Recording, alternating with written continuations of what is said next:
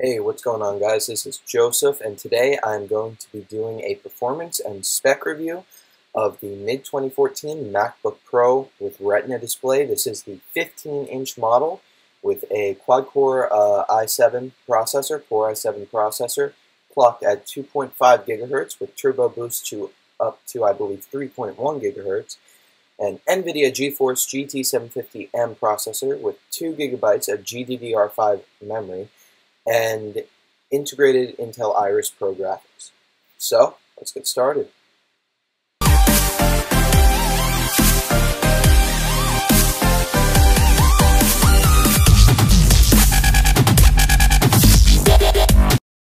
The mid-2014 MacBook Pro is sporting a 1920 by 1200 capable Retina display, a full-size QWERTY keyboard, dual speakers, a multi-touch glass trackpad, and a 720p FaceTime HD camera.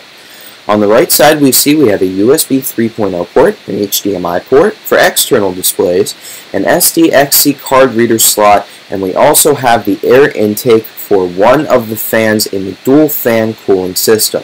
On the back of the computer, we have the same aluminum finish backing that has been on MacBook Pro since I believe 2007 or 8. On the left side, we have a MagSafe 2 power adapter, two Thunderbolt 2 ports, a second USB 3.0 port, and a headphone jack.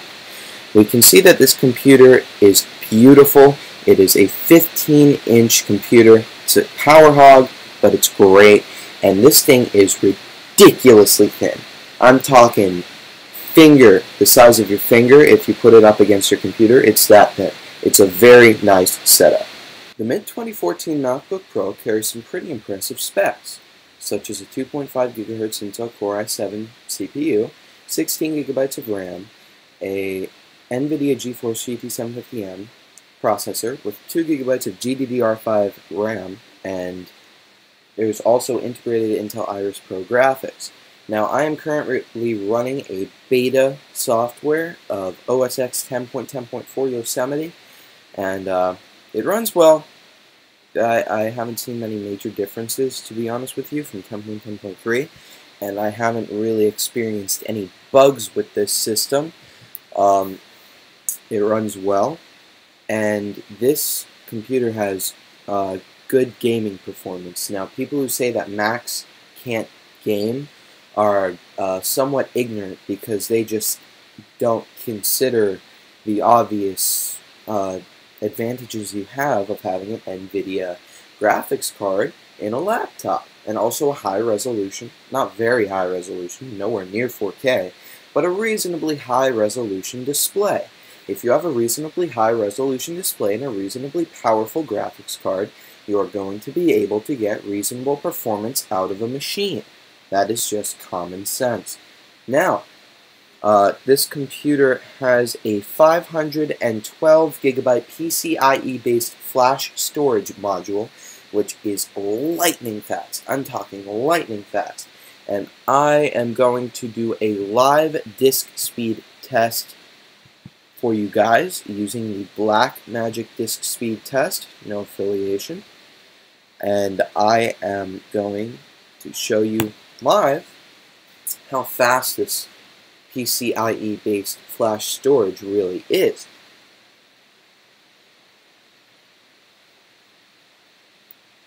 And you can see there that write speeds are way above 500 megabytes a second and read speeds are nearly 600 megabytes per second.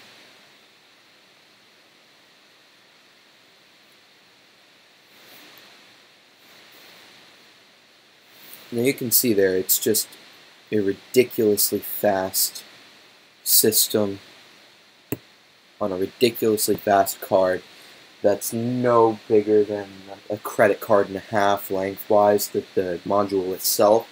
And the screen is great, it's wonderful, you can't discern the pickle, pixels, excuse me, uh.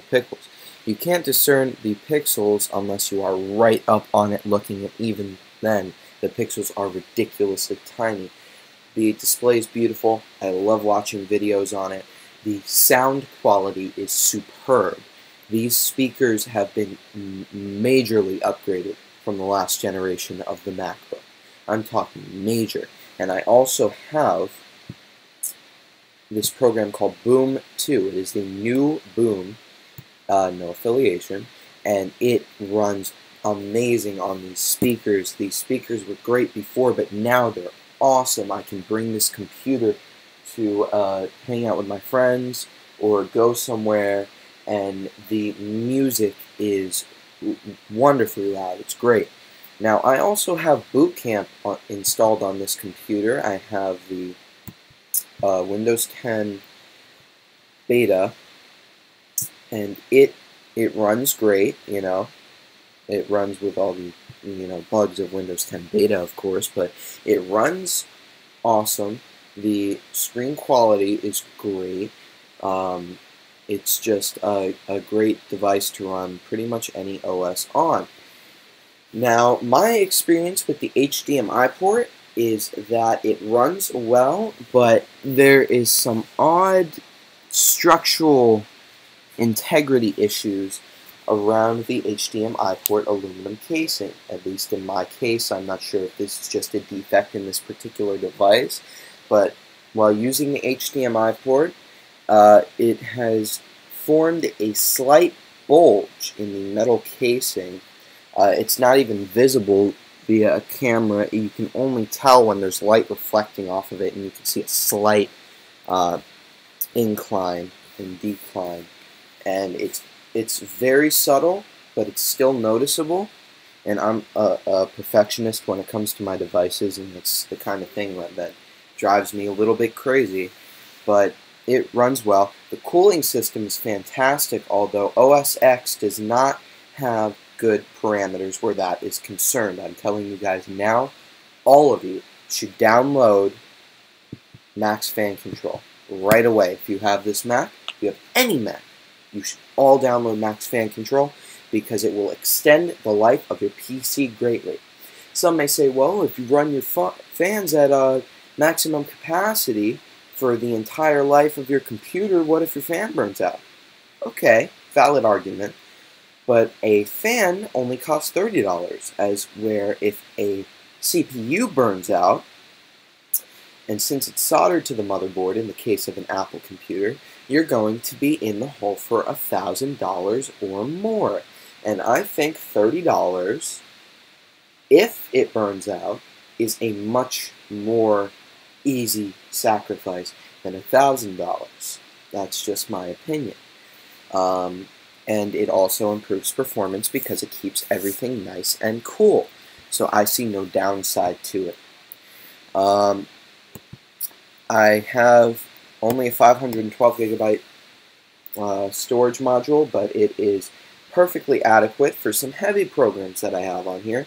I have Final Cut Pro, I have Logic Pro X. These are all programs that run with a high amount of data.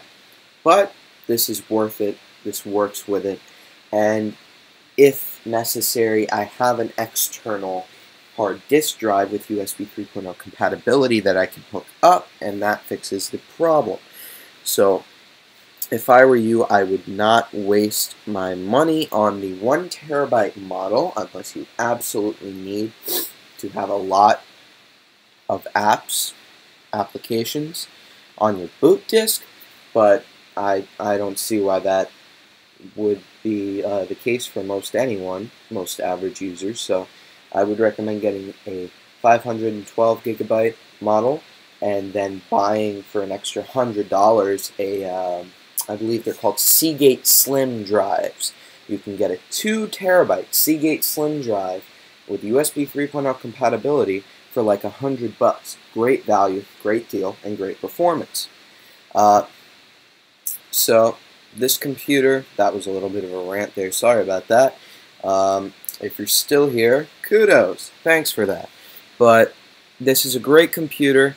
Uh, all the apps run great. The resolution is fantastic. Now what I have actually done is I have disabled automatic graphics switching just because I hate it when it gets down to like 40% and I open up Launchpad or, or some other animation and it's like choppy. I hate it until Iris Pro integrated graphics apparently are not good.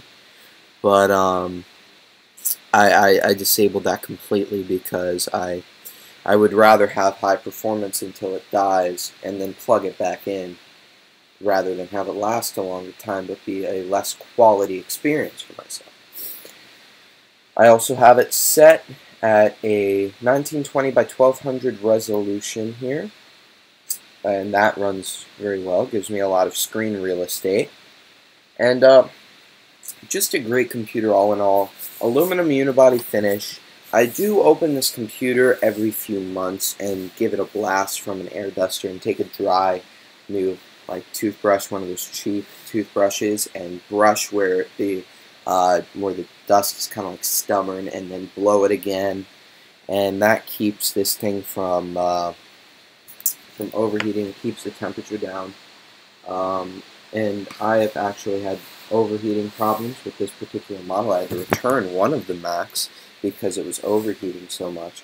And I got this back, and this was overheating, and I sent it in to a, a repair uh, shop, and I got it back a few days later, and they said there was nothing wrong with it, and the overheating wasn't happening. And ever since the overheating wasn't happening, so I'm not quite sure about what was up with that. I know that I was running my fans at full capacity, but the bar up near the display, which I know on the motherboard that's where the processors are located, was ridiculously high. So I don't know if they did something on the down low or I, I don't know why they do that, but uh, worked fine. This computer is great, highly recommended. It is a little expensive, well, not a little expensive, it's very expensive. It's $2,500 laptop, but if you have the money and you want to invest into a laptop for that $2,500 and you are looking for a Mac platform, I enjoy the Mac platform. I also enjoy Windows. That's why I have a dual boot system set up. But if you are looking for a high quality, high resolution, just premium build quality computer, notebook that has a great display, especially if you like to watch movies, this is definitely the computer to check out. So thank you guys so much for watching this video. Give it a thumbs up if you liked it, if it's helped you at all. Uh, give it a thumbs down if you absolutely hated it. Leave any comments or questions you might have in the comments section below. And I look forward to making some more videos for you guys. Peace.